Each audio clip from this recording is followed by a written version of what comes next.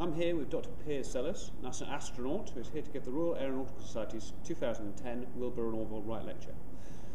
Dr. Sellers, as the shuttle heads to retirement, what are your thoughts on the program as a whole? Was it the right space vehicle? It was uh, way ahead of its time, and some would argue it's probably too far ahead of its time, but uh, actually I think it was, uh, for the US, it was a perfect stretch of the available technology. Um, first fly-by-wire aircraft, or spacecraft if you like, developed all the the um, methods and protocols for the whole computer-based flight control system. Numerous innovations, just the heat shield itself, the tiles, uh, years ahead of its time. So I think that uh, in terms of a technical um, stretch, definitely worthwhile. Uh, some compromises in the program um, led to problems, as you know, throughout its uh, operational career. But uh, on the whole, I'd say smashing success, and I'm hoping that she retires uh, gloriously and peacefully next year. Okay, I mean, today we saw the launch of uh, SpaceX's Dragon capsule. Uh, do you think we're now on, on the, the, cusp of a tipping point in commercial human spaceflight, do you think? Could very well be. Um, this is very exciting that, to have a success uh, with this system. Um, all, all aspects of the system, launch, orbital, control, re-entry, recovery, it all worked fine.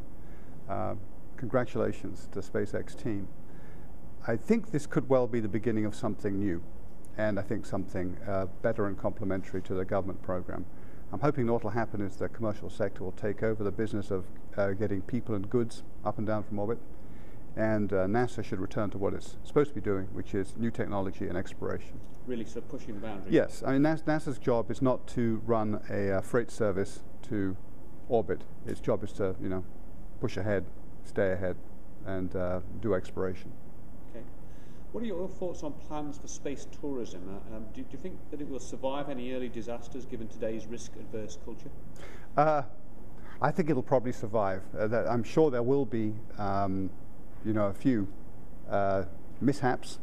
I think there's no question there will be a few mishaps. The space travel is a risky business. Anyone who tells you it's not a risky business is lying. So I'm sure there'll be problems, uh, but I think just like anything else, there will be, you know, recovery, retrenchment, and then programs will pick up again. So I think space tourism will ratchet its way upwards slowly. Okay. Uh, what nation do you think will be the first to land on Mars, and, and how, do you, how, far do you think we're away from a, a manned mission there? Great question. Uh, I think we're about 25 years away from it, 20, 25 years away from it. And I would love to be surprised and shocked if anyone got there sooner. I would like to think it would be an international planet Earth adventure to Mars. I think there's so many uh, contributions that all the uh, uh, technically advanced countries can make to this. And, you know, share a little bit of the glory in a really, truly worthwhile effort. So I'm looking forward to it. Okay. Yeah, um, on, on, career choices, uh, in the past you needed to be a pilot to go into space. Right. Uh, today you might be an exobiologist. Uh, what, what, career advice would you give to young people seeking a career in space? I would advise them to study whatever makes them happy, whatever gives them uh, a reward. Um, I loved science, and I would have been quite happy to do science as a career my whole life. Um, and I just lucked out and became an astronaut as well. But uh, I would advise young people, find the thing that, that uh, turns you on, find your passion, and do it. Okay. Um, you, you were here as well to talk to our winner, winners of our Meet an Astro Astronaut contest for young people. Mm-hmm. Uh, why do you think we had such an amazing response? Oh, I think space has always been fascinating to young people. Um, when I was a kid, the whole moon race was going on, and I, I just was entranced by the whole thing. I'm not surprised. Um, I'm very glad that kids, with all the distractions of reality shows and toys, uh, you know, electronic toys and all the rest of it, have time to, you know, study something that's actually real. This is not, not reality show, it's real stuff. So I'm, I'm, I'll be thrilled to meet them, talk to them. Brilliant. Um, do you think you will go into space again in your career?